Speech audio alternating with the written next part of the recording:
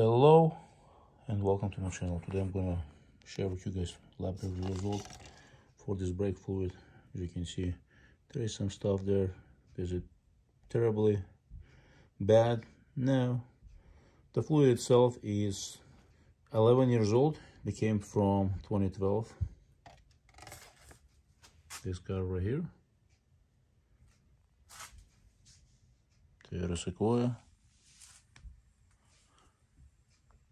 So, so the question remains unanswered, and very often uh, people don't know what to do.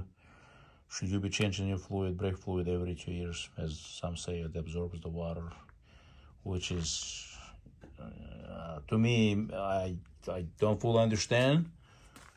I need to do more research, but makes no sense. How can a petroleum product absorb water? You know what I mean? I just, I Maybe because I don't know the chemistry of the brake fluid, but I just don't understand, you know what I mean? Uh, because you can have water in anything. In motor oil, you're gonna have moisture. In fuel, you're gonna have moisture. You know what I mean? It's just, a, you know, you have evaporation, not evaporation, but you have condensation, so I can see that. But to absorb like a sponge, as everyone say, I just don't understand how can be, how could that could be. You know what I mean? It makes no sense to me. If this was some kind of product, you know, a sponge or a rag that absorbs it, yeah, I can see that. But a petroleum-based product to absorb the water makes no sense. So let me show, share results with you. Fluid, brake fluid on this Sequoia has never been changed. I bought it when it was two years old. Service record was serviced by the dealer. Service record shows zero, absolutely zero um, uh, indications of fluid been changed. First time 11 years. This year a few months ago or month ago I changed it. You know this is the sample I sent to the lab and this is the leftover. So the report says it's abnormal. You know I usually don't I don't go by that but to show you guys what the report is saying it's abnormal. It's already past normal is it really that terrible? No, if you read the note, it says you can still continue to use. Flag there does, does not indicate an immediate need for maintenance action, so I'm not going to read water at minor level. Acid number is flagged. Yeah, became, you know what I mean. With being 11 years old, it's definitely, you know, any fluid will become acidic. Any. And when the fluid becomes acidic, well, what, what acid does? It starts corroding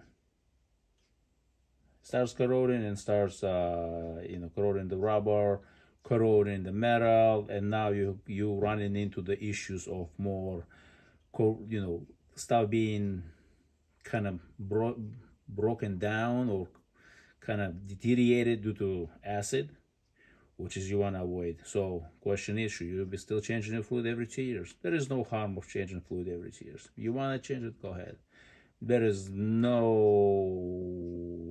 uh, nothing bad will happen except, you know, less money in your pocket. You know, would I stick to two years? No. Five, six. We'll see. We'll retest this, you know, five years later, see how, see the numbers will compare to the fresh fluid.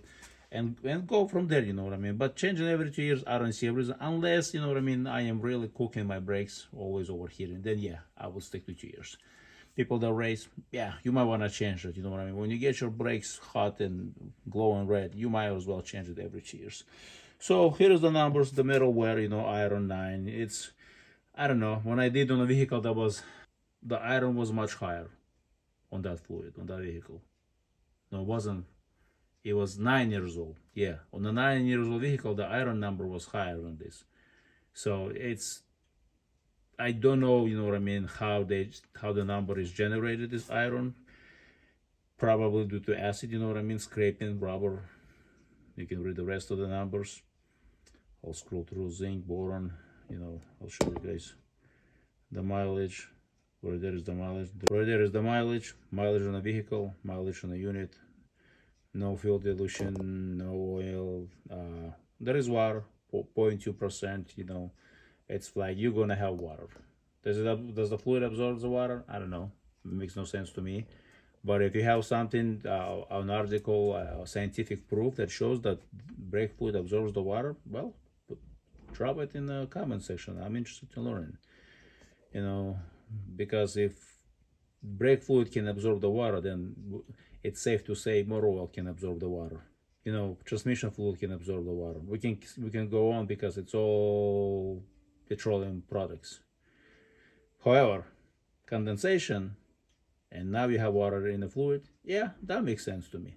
So should you have water? You're gonna have water. You're gonna have condensation in, in every fluid. It doesn't have to because no fluid uh, or i shouldn't say no equipment is 100% sealed unless it's like a compressor. Yes compressor is 100% sealed vacuum filled with the gas there is you know what i mean? You're not going to have water there. Viscosity is low probably should be higher. Acid they they flag it you know what i mean? You can see nitration and so on. So that's you know what i mean? Something you should not be panicking you should not be worrying too much you know what i mean? If you don't change your fluid uh every two years, you're in good shape. Should you be pushing 10 years?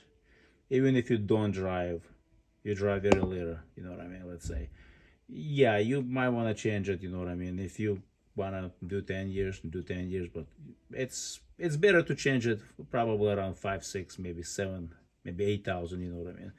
But if you believe in 2,000 miles intervals, there is nothing wrong with that. So, so I want to thank you for watching and um, let me know how often you change your fluid in the comment section.